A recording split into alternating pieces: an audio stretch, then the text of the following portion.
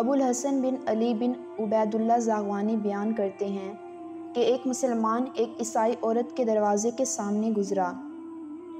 तो अचानक औरत पर निगाह पड़ गई और वो उसकी मोहब्बत में गिरफ़्तार हो गया और उसका ये इश्क इतना बड़ा कि उसकी अकल पर गालिब आ गया।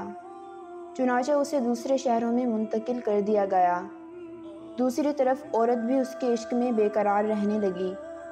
इस मुसलमान का एक दोस्त था। जो उसके और औरत के दरमियान ख़त किताबत का तबादला किया करता था।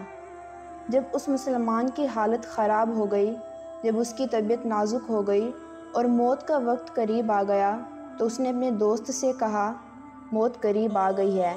मैं अपने दोस्त, यानी उस औरत से दुनिया में तो नहीं मिल सका, लेकिन मेरा इरादा है कि उसे आखिरत में मिलूं। उसके दोस्त ने पूछा, वो कैसे? उसने कहा मैं मोहम्मद सल्लल्लाहु अलैहि वसल्लम के दीन से फिरकर ईसा बिन मरियम का कायल होता हूँ। ये कहकर उसका दम निकल गया। इस मुसलमान का दोस्त इससे फारिग होकर उस औरत के पास पहुँचा तो उसे भी बीमार पाया और औरत ने उसे कहा, मैं अपने महबूब को दुनिया में नहीं मिल सकी। अब चाहती हूँ कि आखिरत में उससे मिलूँ। चुनाचा मैं गवाही देती हूँ कि मोहम्मद सल्लल्लाहु अलैहि वसल्लम अल्लाह के बंदे और रसूल हैं। और मैं ईसाई मज़हब छोड़कर मुसलमान होती हूँ। ये सुनकर उस लड़की के बाप ने कहा कि अब तुम इसे अपने साथ ही ले जाओ, क्योंकि ये मुसलमानों में से हो गई है।